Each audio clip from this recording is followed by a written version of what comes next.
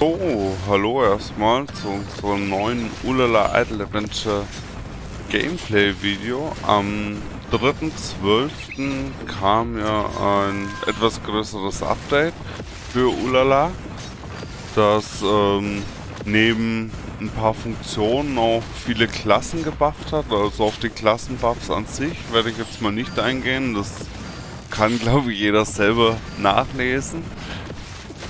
Ähm, die Patch Notes, falls ihr sie noch nicht gesehen habt, die findet ihr einmal hier unter Info. Ihr könnt ihr aber auch bei uns im Artikel einfach nachlesen. Und die größte Änderung ist wohl erstmal hier, es gibt jetzt wöchentliche Aufgaben neben den täglichen. Also habe meine sogar schon erledigt, war fleißig. Sind aber auch, muss ich sagen, ziemlich einfache Quests. Also Login für sieben Tage, benutze Schnellkampf, Monstertruhe, Bosse, Wunschmünzen, Kochen. Also es ist jetzt, wenn man ein bisschen normal spielt, macht man das eigentlich nebenbei. Gibt auch ein paar gute Belohnungen. Einmal zufällige, ja, zufälliges Essen,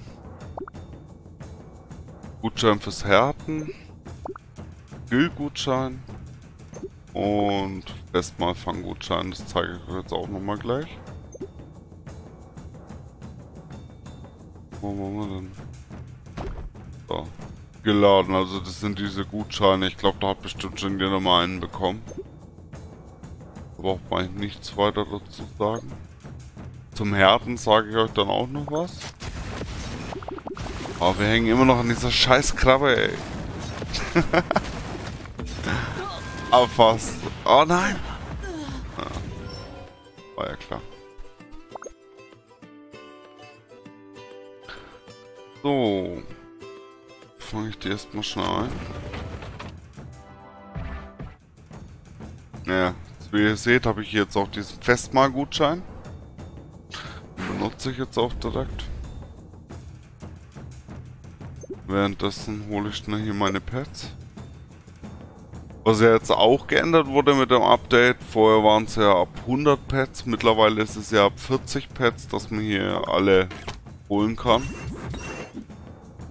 Spart natürlich einen Haufen Zeit. Hätten sie eigentlich schon eher freischalten können. Ja. Geizkrank.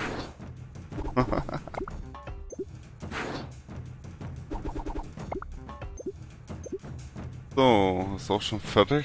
Es läuft immer nur 8 Sekunden.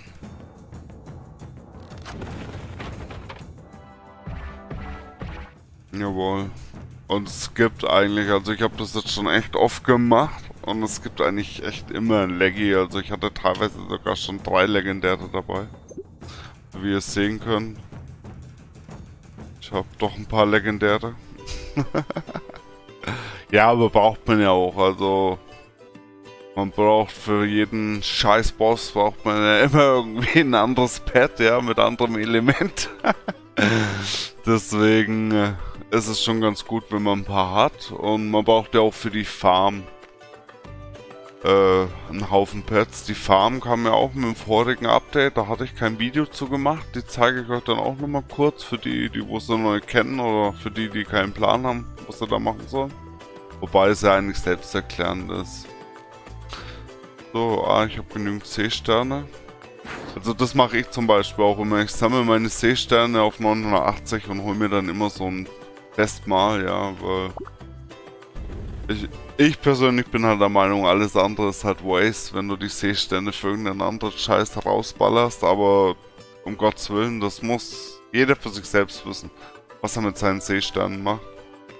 Aber gerade weil die Pets halt auch irgendwie so ein elementarer Bestandteil vom Spiel sind, macht es halt mehr Sinn. Ne? Ja, und da ist schon wieder eingekriegt. Also, ich kann es eigentlich echt jedem nur empfehlen, zumindest so eine gewisse Grundausstattung.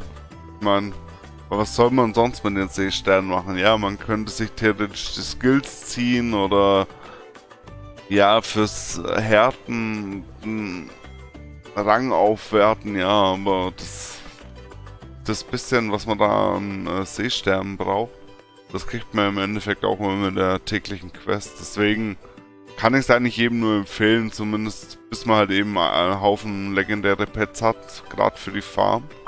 Schauen wir uns mal die Farm an. Ah ja. Ich habe vorhin das Spiel wieder geupdatet auf dem Computer, weil ich normal nur am Handy spiele. Ja, bla bla.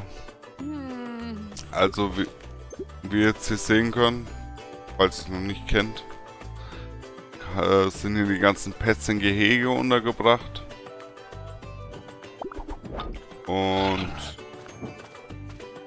ja, je nachdem, was für ein Pet ihr hier zuteilt, geht es eben nach den Symbolen. Nach den Symbolen, nach den Elementen.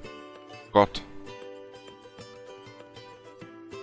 Und umso höher die Werte sind, klar, umso einen höheren Bonus kriegt ihr jetzt. Und wenn man jetzt hier mal guckt, also so ein legendäres Pet, 126%, ja.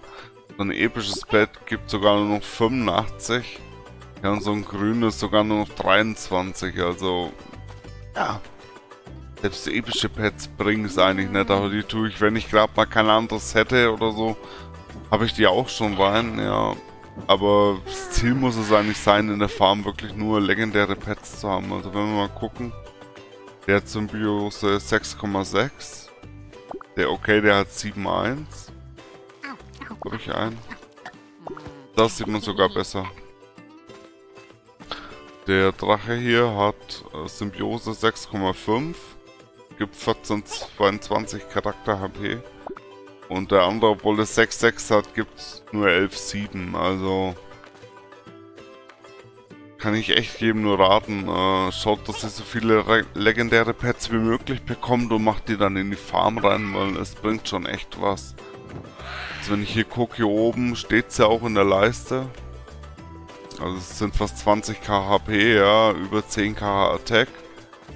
Ähm, und je nachdem, man kriegt ja auch mal mittlerweile dann so Highlighted Packs, die bessere Fähigkeiten haben. Das macht sich dann schon echt bemerkbar.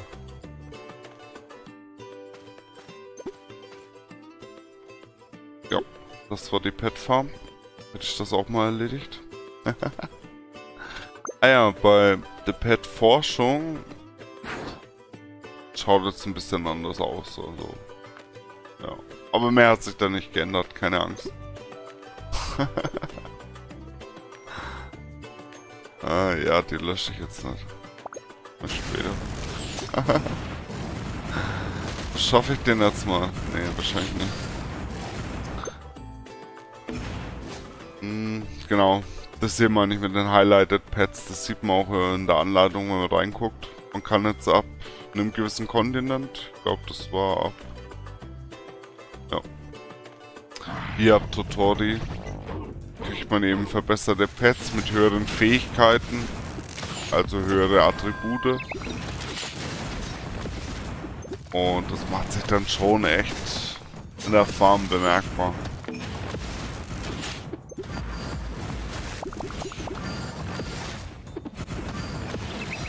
So, wird es jetzt was? Wahrscheinlich nicht.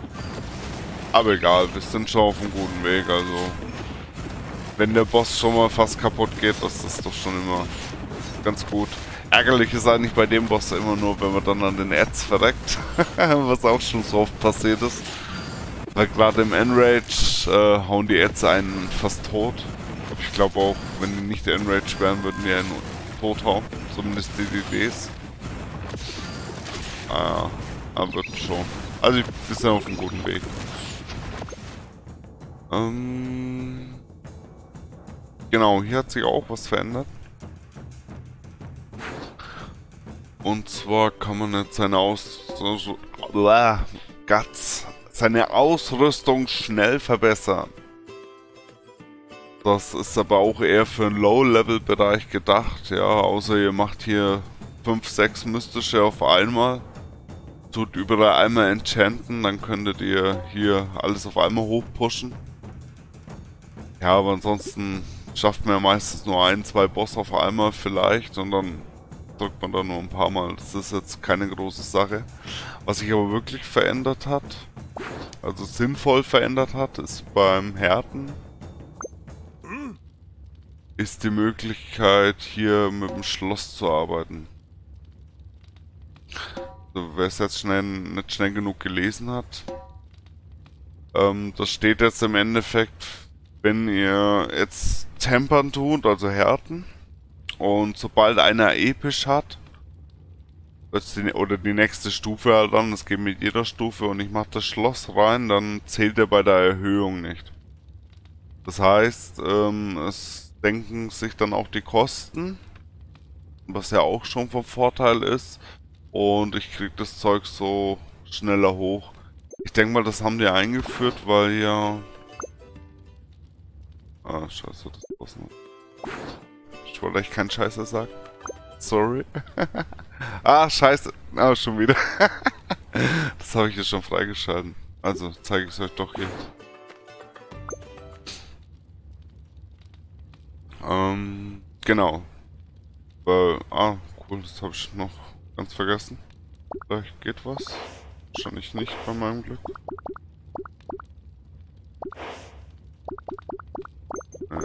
Ich habe jetzt auch keine Muscheln gerade. Ah! Wollte ich zwar nicht, aber egal. Auf jeden Fall, ja, genau, mit Level 88, äh, wenn ich dann 1000 Nadeln erreicht habe, dann wird ja der neue Slot hier freigeschalten. Und ich denke mal, das ist auch der Grund, warum die das überhaupt eingeführt haben, weil es echt schwer war, das äh, dann nachträglich nochmal aufs gleiche Level mit hoch zu bekommen. Ja, da musste man im Endeffekt ewig warten, bis man das Härtelevel erhöhen konnte, dass man das dann mal vernünftig mit tempern konnte, weil ein weißes äh, Attribut auf blau zu bringen, während die anderen schon auf blau sind, das ist ja, jeder, der es schon gemacht hat, der weiß, wie es ist. Das ist echt verdammt schwer und aufwendig halt. Also von den Muschelkosten halt. Weil das halt echt sehr viel kostet. Und ich denke mal, deswegen wurde das auch mit dem Patch hier eingeführt. Ansonsten mehr wurde glaube ich jetzt auch gar nicht so geändert, außer so ein paar kleinere Sachen, die aber nicht der Rede wert wären. Ja, ähm, wie fandet ihr den Patch? Hinterlasst doch gerne mal einen Kommentar. Ansonsten danke fürs Zuschauen. Hoffe, ihr fandet das Video informativ. Wenn es euch gefallen hat, dürft ihr mir natürlich gerne ein Like oder ein Abo dalassen. Würde ich mich natürlich sehr darüber freuen. Wenn euch das Video nicht so gut gefallen hat, dürft ihr mir natürlich auch einen konstruktiven Kommentar hinterlassen.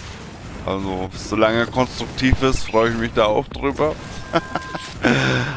Ansonsten danke fürs Zuschauen. Bis zum nächsten Video. Bye bye.